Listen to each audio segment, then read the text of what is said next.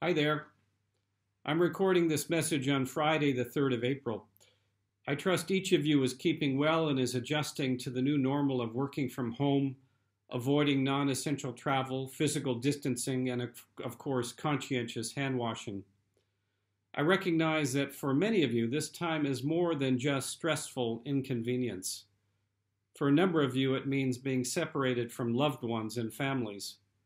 For some of you, too, it may have meant real upheaval in your lives.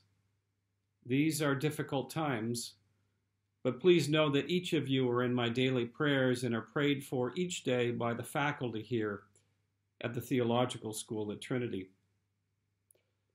While we are all working from home, the staff here are at the Theological School continue to be quite busy with online teaching, with regular meetings by Zoom and with their research and scholarship.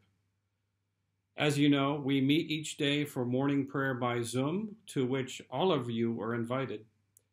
Please see our website for more information on how to log on to daily morning prayer. The staff also continue to meet for our weekly faculty meetings, again by video conference. And we have started to have informal afternoon tea time by Zoom as a way to stay connected and to overcome the physical and social distance under which we are all living at the moment. This is a stressful time for all of us as we navigate how to keep in community without communing with each other. God has created us to be social and relational beings. As a result, these past weeks and the weeks to come are and will be unnatural and difficult for us.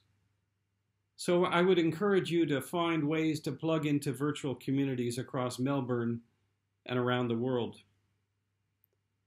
I would also encourage you to monitor your mental health.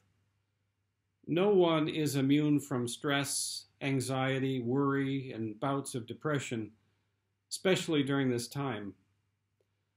As such, I would recommend that you check out Sanctuary Health Ministries, a Christian nonprofit organization based in Canada that prepares the church to support mental wellness. There are a number of resources that can be found on their webpage, including podcasts, and other online mental health materials that they are making free of charge during the coronavirus outbreak. Their web address is www.sanctuaryhealth.org. Do check it out. Finally, I think it is important to recognize that we are about to go into Holy Week and mark Jesus' journey into Jerusalem and his suffering and death. I heard someone recently say that this Lent has been the lentiest Lent they've ever lented. And I think we all can relate.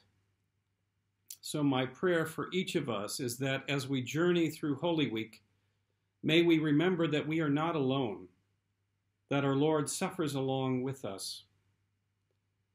St. Paul wrote his letter to the Philippians during a time of trial, anxiety, and suffering that both he and his readers were experiencing. And in the midst of this, St. Paul penned these words of encouragement to the Philippians, words that I leave with you today. If then there is any encouragement in Christ, any consolation from love, any sharing in the Spirit, any compassion and sympathy, make my joy complete.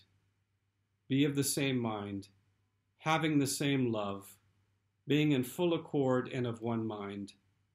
Do nothing from selfish ambition or conceit, but in humility regard others as better than yourselves.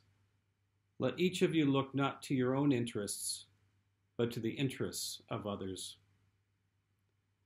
My friends, this is my prayer for each of us during this time of coronavirus, especially as we begin our journey through Holy Week and to the cross of Jesus.